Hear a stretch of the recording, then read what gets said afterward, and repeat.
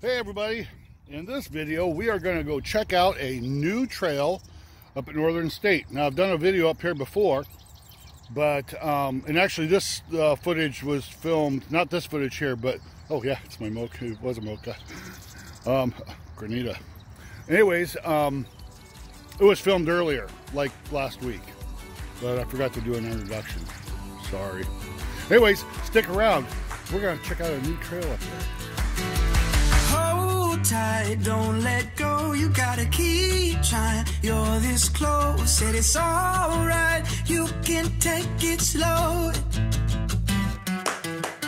Keep your head up high and let ease. We are up here at Northern State. We're going to go for a little bit of a walk. I was going to fly my drone, taking a bunch of pictures up here.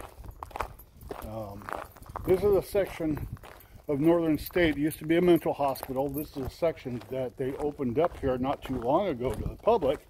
This all used to be closed up. So you can see there's a bunch of bunch of buildings back here, some back in there. I don't know if you can see those. But uh, yeah, so we're gonna take a little bit of a jaunt. There's a new trail here. My wife Kelly and I and Gus hiked it the other day. Came out here after she'd gotten off of work and uh, told her let's go for a walk and she ended up classifying it as a hike. I didn't think it was a hike, but she did. Now over here we have what they call Connections Academy. It used to be Job Corps. Um, these are part of their buildings as well. This fence pretty much blocks it off. Everything north of that fence is all um, part of the that school um, Job Corps, Connections Academy, whatever they want to call it. Down here, these are some of the older buildings. Uh, a lot of these buildings have, are in a state of disrepair, which is really too bad because they were beautiful. Some of these sections over here were buildings that they had actually tore down many years ago.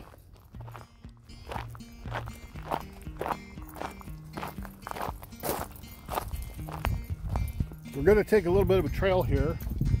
Um, they've just built these trails not too long ago. Uh, a lot of it's graveled. Kind of makes a loop. Like I said, we did part of it with my wife Kelly the other day and the Gusinator, wherever he is. Right there, bringing up the rear like usual. Yeah, it's a beautiful day out here. It's supposed to start getting crappy tomorrow though. But they've been saying that for a while now. Anyways, we're gonna saunter on.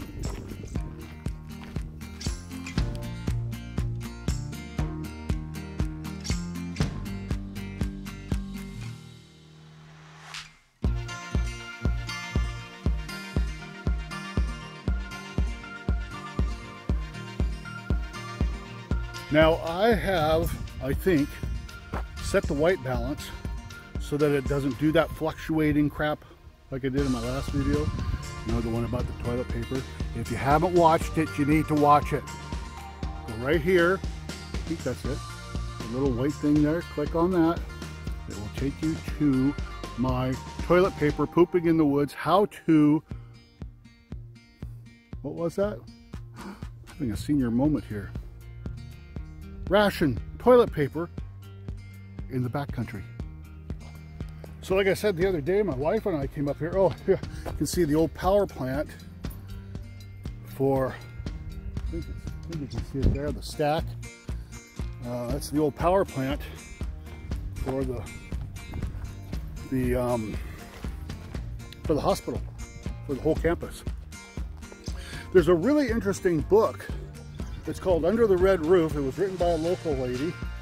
Um, the majority of the people here in Sedro-Woolley have either had a relative or they themselves worked at this hospital at one time.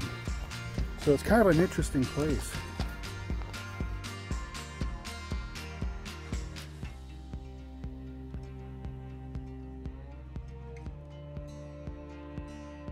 This is where that new trail starts, right here. Kind of goes back up in through there, runs along the creek up through there. Can't remember what the name of this creek is. But you can see there's one of the old the old buildings there. I'm not sure what that was. I think it was a pump house. there's a lot of old pipes and stuff that run along the creek and cross the creek down here. So we're gonna go ahead and hit this little trail. And I want to give a big shout out to Skagit Trail Builders here because they are the ones who have been building and maintaining this trail. And they do a lot of other, in fact, they maintain all these trails up here. This uh, area is actually owned by the Port of Skagit County here in Washington State. And uh, they've done a really good job in, in keeping this place up and, and uh, um, what am I, what's the word I'm looking for? See, I get these senior moments. I can't remember these words. Um, yeah, the 70s were very good to me. Um, they maintain this up here and, and they they add more trails and they, the upkeep is, is really well. So big shout out to them.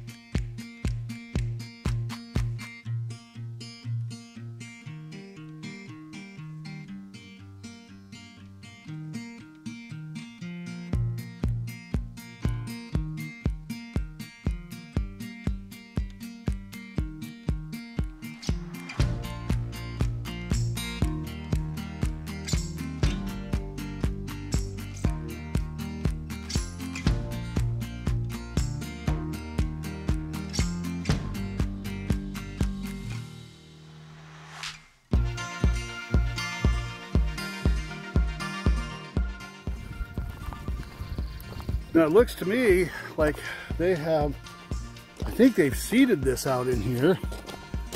So this is gonna be a great place once this grass grows up and they keep it mowed down. This will be a great place to come out and just kind of lounge around. You've got the creek that runs down through here. A lot of birds, very peaceful.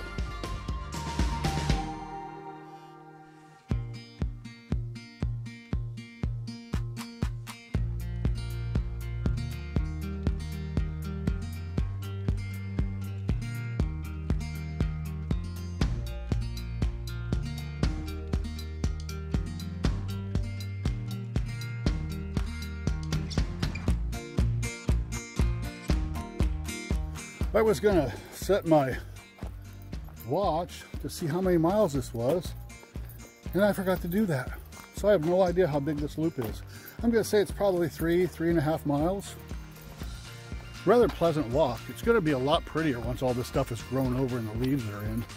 Now I gotta give a shout out to Luke over at Outdoor Gear Review.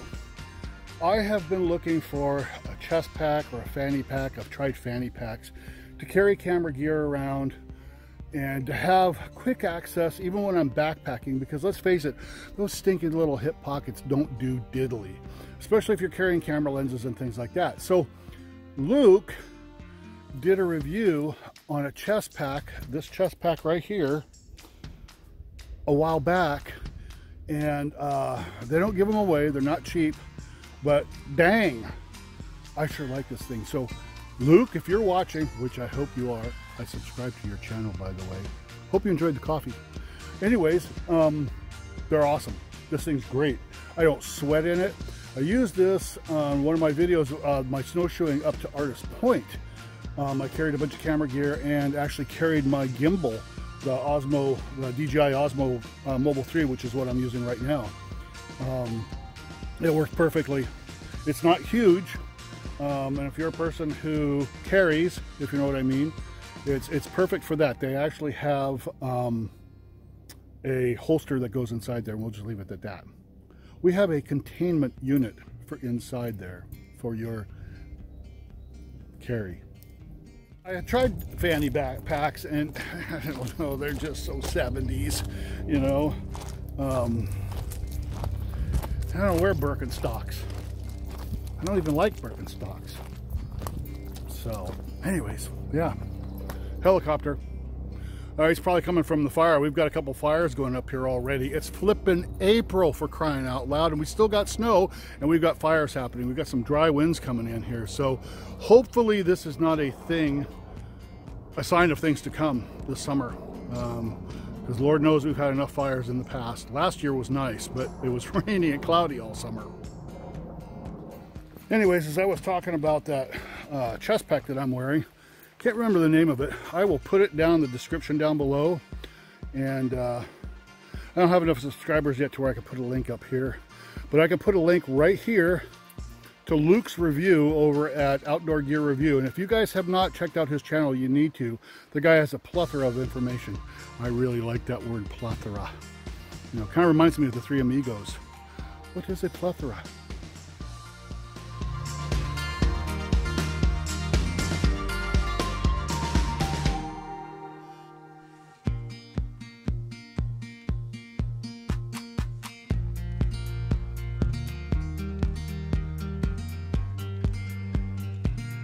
So we're at a junction here. Uh, we just came out from over here,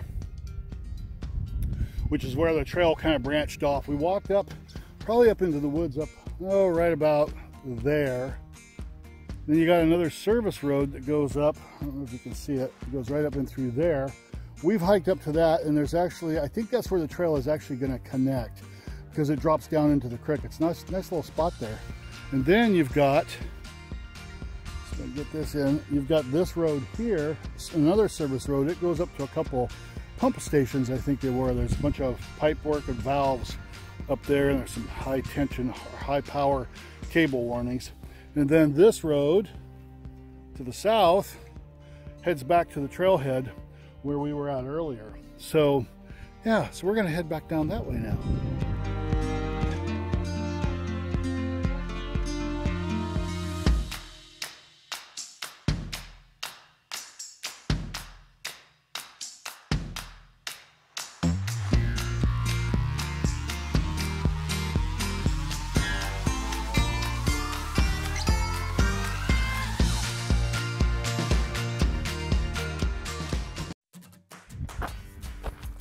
Heading back to the back to the truck. Where the buildings are. I was going to try and get some drone shots today. I might try to. It's pretty windy in here right now. So gives you kind of a I got those to give you kind of a scope, an idea of what these buildings are like. But we'll see what happens when we get back to the truck.